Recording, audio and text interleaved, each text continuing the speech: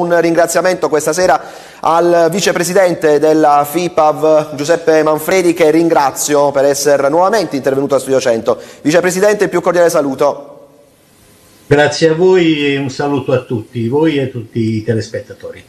Allora, facciamo il punto sulla pallavolo in Italia. In questo momento, voi come sapete, tutti quanti gentili telespettatori, seguiamo la Prisma mh, per quanto riguarda il campionato di A2. In generale, la fotografia del momento, Vicepresidente. Non mi sembra un grandissimo momento per la pallavolo e per tutti. Intanto ha fatto bene a mettere in evidenza la Prisma perché la Prisma è una delle società che in questo momento sta continuando a, a giocare, che sta tenendo uh, vivo il nostro movimento.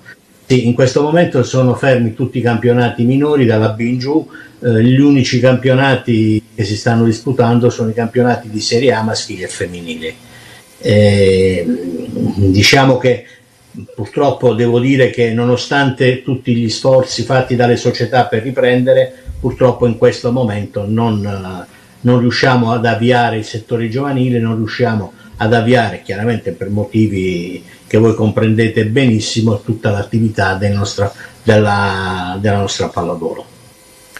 Vicepresidente, tante partite però sono rinviate, ad esempio nel campionato di A2, vedi la situazione riguardante proprio la prossima gara della eh, Prisma Volley, quella con Siena che praticamente non dovrebbe eh, disputarsi. Poi ci entreremo su questo tema, ma le società stanno chiedendo delle risposte chiare. Mm, che cosa dobbiamo aspettarci da parte della FIPA a breve?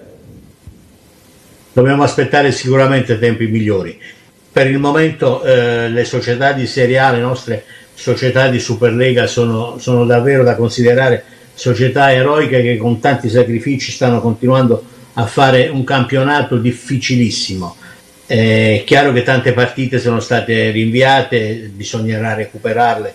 Chiaramente non possiamo parlare di un campionato regolarissimo secondo i canoni che sempre eh, ha contraddistinto la nostra attività, però bisogna dire che in questo momento è molto ma molto molto importante che si giochi, che si dia comunque un segnale di continuità e io devo ringraziare veramente di cuore queste società e laddove sarà, staremo molto vicini in questo momento. È possibile uno slittamento della Coppa Italia di A2 per recuperare le partite come ipotesi o è troppo campata in aria? Allora, innanzitutto si tratta di un'attività che è gestita dalla Lega, ma credo che ehm, sicuramente qualche modifica probabilmente ci sarà al calendario perché in questo momento secondo me è molto importante andare a recuperare innanzitutto le gare non fatte so che in questo momento si deve interrompere il campionato per consentire per quanto possibile di poter recuperare le gare non disputate. È chiaro che la difficoltà c'è nel gestire questa situazione, quindi dobbiamo, dobbiamo vivere momento per momento l'evolversi di tutto il, eh, il campionato. Ha definito la Prisma Volley diciamo, una società eroica, la Puglia, la sua Puglia è eroica in questo momento?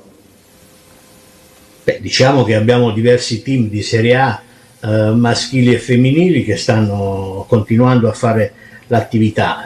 in questo momento eh, la Puglia è una, è una, regione molto importante nel panorama eh, nazionale, soprattutto per il settore giovanile maschile che esprime.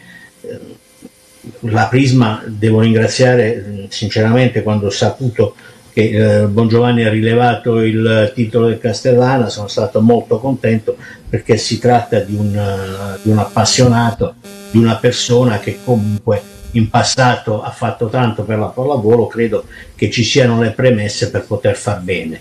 E abbiamo due società in A2 che eh, hanno un organico che sicuramente può mirare a salire.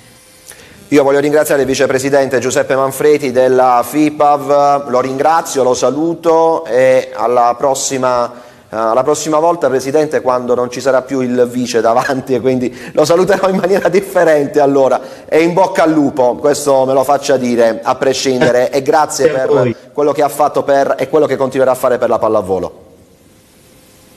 Grazie, grazie a voi anche per quello che fate voi per lo sport in genere e per la pallavolo. Ci risentiamo quando volete.